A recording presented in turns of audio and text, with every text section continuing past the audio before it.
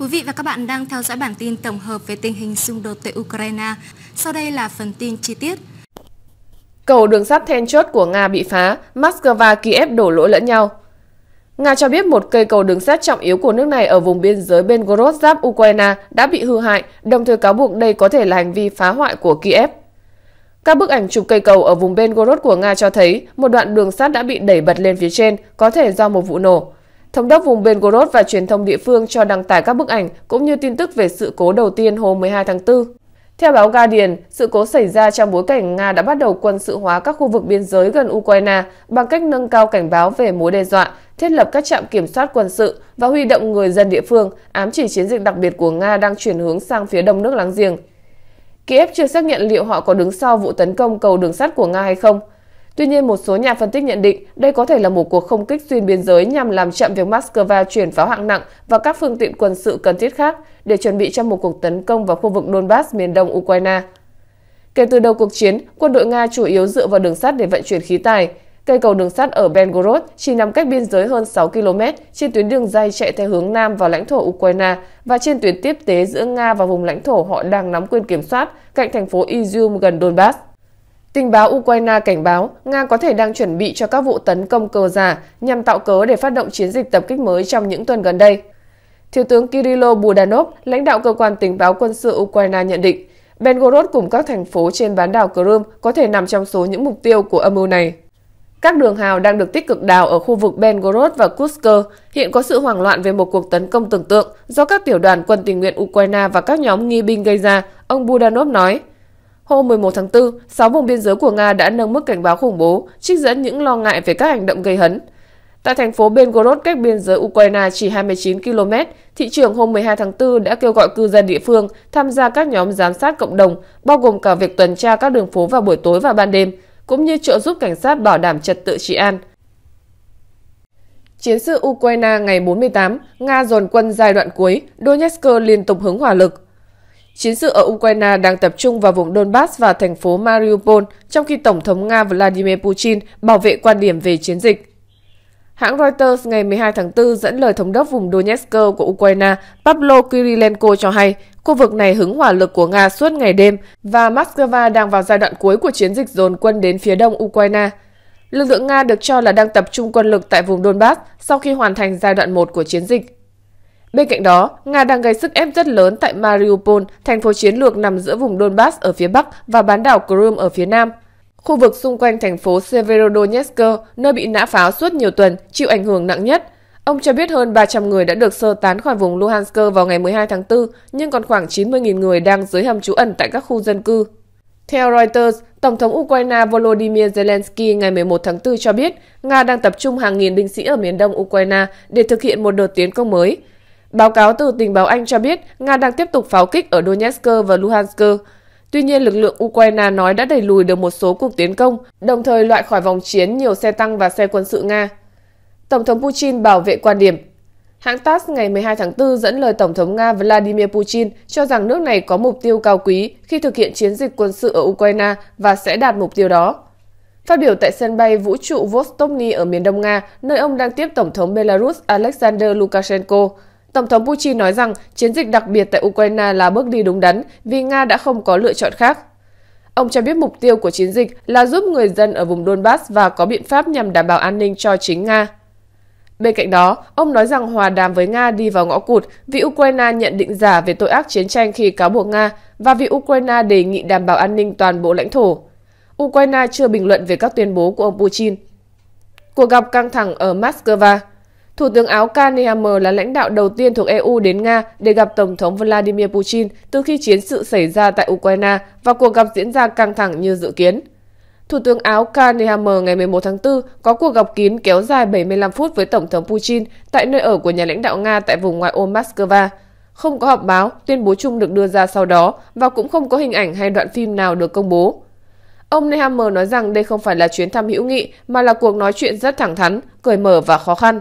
Ông Nehammer nói với lãnh đạo Nga rằng đã đến Ukraine và chứng kiến sự thống khổ không thể đong đếm trong cuộc chiến.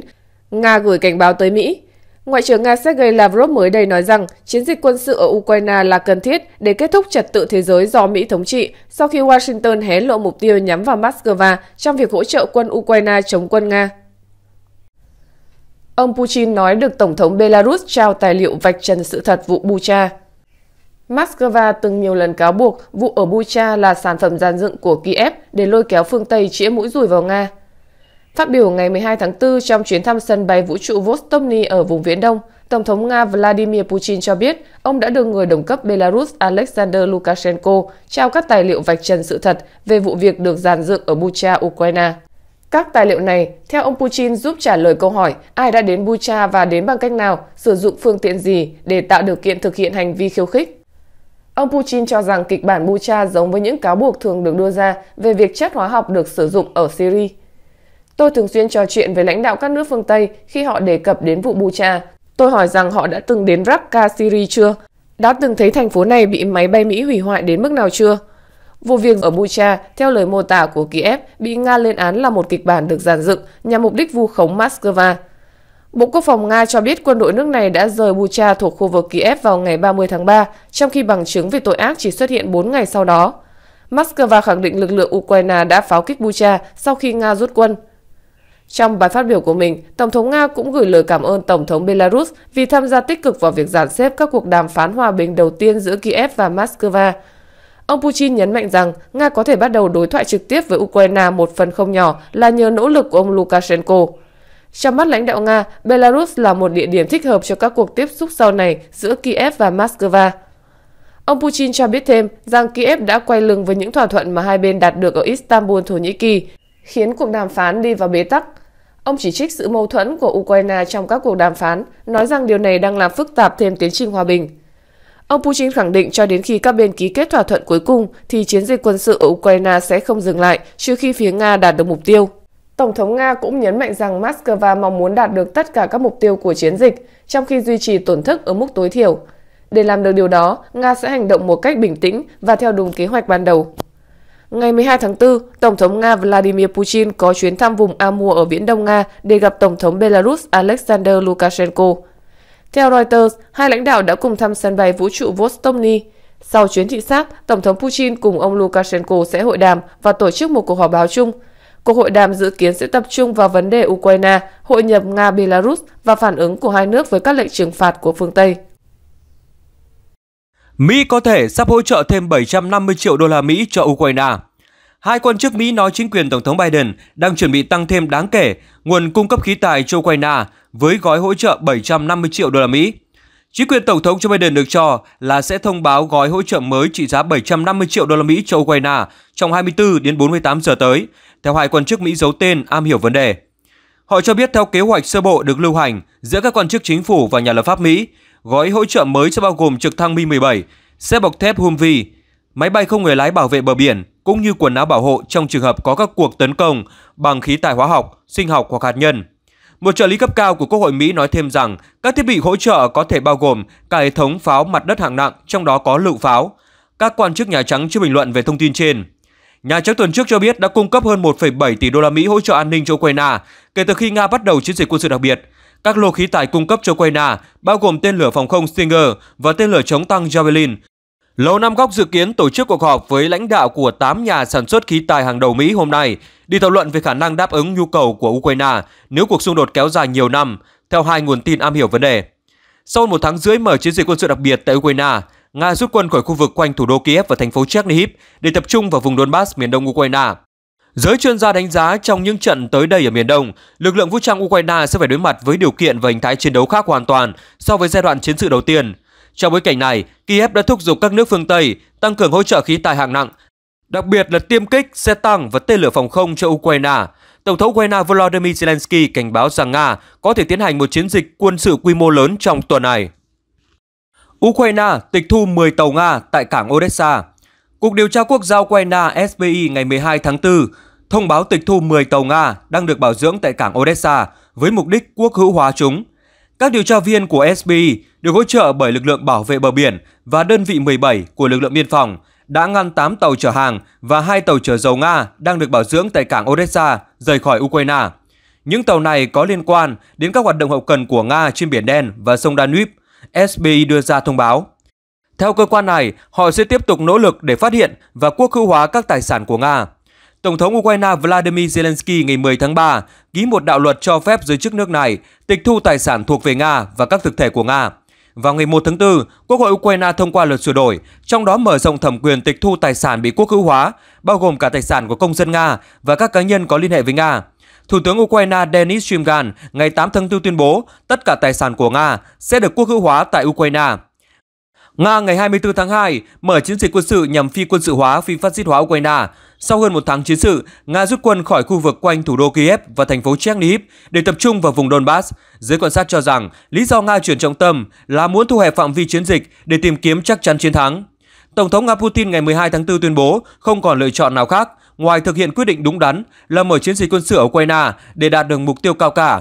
Ông khẳng định giao tranh với các thế lực chống Nga ở Ukraine là không thể tránh khỏi. Một mặt chúng tôi đang giúp đỡ và cứu người, mặt khác chúng tôi chỉ đơn giản là thực hiện các biện pháp đảm bảo an ninh của chính nước Nga. Rõ ràng chúng tôi không có lựa chọn, đó là một quyết định đúng đắn, ông Putin nói. Tổng thống Nga cho biết mục tiêu chính của Moscow khi mở chiến dịch quân sự là cứu những người dân vùng Donbass ở miền đông Ukraine, nơi quân ly khai do Nga hậu thuẫn đã chiến đấu với quân đội Ukraine kể từ năm 2014. Lệnh trừng phạt Nga có thể gây ra một trong những cú sốc dầu mỏ tồi tệ nhất lịch sử – các lệnh trừng phạt nhằm vào Nga có thể gây ra một trong những cú sốc nguồn cung dầu mỏ tồi tệ nhất trong lịch sử.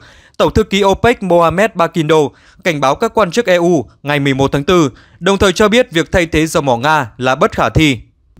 Theo ông Bakindo, khoảng 7 triệu thùng dầu Nga đã đang biến mất khỏi thị trường thế giới mỗi ngày do các lệnh trừng phạt và những biện pháp hạn chế áp đặt tên Nga. Quan chức OPEC cũng nhận định với EU rằng sự biến động hiện nay trên thị trường dầu mỏ nằm ngoài sự kiểm soát của OPEC và EU có trách nhiệm thúc đẩy một hướng đi thực tế cho việc chuyển giao năng lượng. EU đã thông báo kế hoạch tham gia cùng Mỹ và Anh áp lệnh cấm vận lên các sản phẩm năng lượng của Nga. Tuy nhiên không giống như Mỹ và Anh, châu Âu nhập khẩu phần lớn năng lượng từ Nga và các chuyên gia cảnh báo việc cố gắng cắt nguồn cung này có thể gây ra những hậu quả tồi tệ. Đức thậm chí suy đoán nguy cơ sụp đổ toàn bộ ngành công nghiệp trong khi người đứng đầu tập đoàn năng lượng Áo OMV tuyên bố nước này không thể từ bỏ việc mua khí đốt của Nga. Trong khi Mỹ cam kết thúc đẩy và lấp đầy khoảng trống trên bằng việc xuất khẩu khí tự nhiên hóa lỏng LNG nhiều hơn, thì các trạm LNG của châu Âu đều đang hoạt động hết công suất, tức là không còn nơi để dự trữ nhiên liệu. Các quốc gia khác đang nỗ lực sử dụng cuộc khủng hoảng này như một cánh cửa để thúc đẩy việc chuyển đổi sang các nguồn nhiên liệu có thể tái tạo. Tuy nhiên, tuần trước Nghị viện châu Âu đã yêu cầu cấm vận hoàn toàn và ngay lập tức việc nhập khẩu dầu mỏ, than đá, khí tự nhiên, năng lượng hạt nhân từ Nga và dự kiến động thái trên sẽ gây ra những tác động tiêu cực đáng kể đến chất lượng sống của châu Âu. Dầu mỏ và khí đốt không phải là những mặt hàng duy nhất mà nguồn cung đang cạn kiệt giữa bối cảnh cuộc chiến Ukraine vẫn tiếp diễn. Nga và Ukraine sản xuất khoảng 1 phần 3 sản lượng lúa mạch của thế giới và cả hai nước này đều là những nhà xuất khẩu dầu hướng dương và phân bón lớn. Do đó, giá thực phẩm hiện tăng cao kỷ lục, trong khi nhiều quốc gia và các tổ chức phi chính phủ cảnh báo nguy cơ thiếu lương thực đang ở trong tương lai gần. Xe tăng bất khả chiến bại của Nga gặp điều kỳ quái, đồng minh châu Á của Moscow lo cuống. Sự thất bại của những chiếc xe tăng này là điều khó chấp nhận đối với Nga và nó đang khiến các chuyên gia quân sự lo ngại. Có những điều họ vẫn chưa thể lý giải chính xác. Ấn Độ lo ngại, những thiệt hại gần đây của xe tăng T-90 Nga đã làm dấy lên lo ngại về tiềm năng của nó Tờ Kiev Independent dẫn số liệu từ các lực lượng vũ trang Ukraine cho biết Nga đã thiệt hại khoảng 698 xe tăng tính đến ngày 7 tháng 4 năm 2022. Trong khi đó, Oryx, một kênh theo dõi độc lập đã thống kê con số 427 xe tăng dựa trên các bức ảnh và dữ liệu từ những nguồn mở. Hiện Nga chủ yếu triển khai các loại xe tăng T-72, T-80 và T-90 của Ukraine. Đã có nhiều dữ liệu khác nhau về số lượng T-90 bị thiệt hại ở Ukraine – Việc những cỗ xe tăng bất khả chiến bại này bị phá hủy là một điều khó chấp nhận đối với Moscow. Ngoài ra, cũng có những trường hợp xe tăng bị bỏ lại sau khi chúng hỏa lực từ tên lửa và máy bay không người lái của Ukraine. Hình ảnh chiếc T-90 bị thu giữ ở Ukraine hồi tháng 3 đã được chia sẻ trong một đoạn video thu hút 2 triệu lượt xem trên YouTube. Đã có những đồn đoán về việc Nga triển khai xe tăng T-90 và T-14 Armata tới Ukraine với số lượng ít hơn dự kiến. Lý do cho quyết định này vẫn chưa được tiết lộ. Với những tổn thất của T-90, các chuyên gia quân sự Ấn Độ đang thận trọng theo dõi. New Delhi hiện triển khai một đội xe tăng T-90 tại vùng Ladakh do xung đột với Trung Quốc. Ấn Độ có thể sẽ muốn phân tích sâu về hiệu suất của cả hai mẫu xe tăng T-72 và T-90, những thành phần cốt cán trong lực lượng xe tăng thiết giáp của họ. Có chuyện gì với T-90? Xe tăng chiến đấu chủ lực T-90S là một biến thể tinh vi hơn so với phiên bản gốc T-90 của Nga với hỏa lực mạnh, khả năng cơ động và khả năng được bảo vệ cao. Nó được thiết kế để có thể tấn công các mục tiêu bay thấp như trực thăng ở cự ly lên tới 5 km. Sự thất bại của xe tăng T-90 khiến các chuyên gia quân sự lo ngại. Tuy nhiên, những thông tin có được có vẻ như các loại tên lửa chống tăng vác vai Manpass và tên lửa dẫn đường chống tăng ATGM đã vượt trội hơn xe tăng của Nga và phần lớn các thành công trong việc làm chậm đà tiến công của tăng thiết giáp Nga. Trong khi Javelin, Stinger và Enlau là những loại tên lửa đầu tiên có mặt ở Ukraine, người Anh sau đó đã tặng cho Kiev các tên lửa Starship, thậm chí còn chính xác và nguy hiểm hơn nhiều.